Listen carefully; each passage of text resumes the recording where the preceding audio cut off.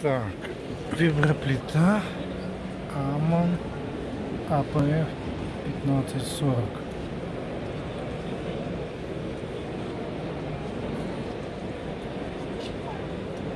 Двигателем Honda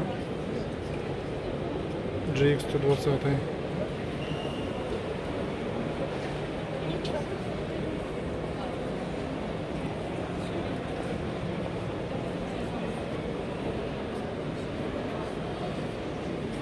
На выставке в Киеве. АПФ.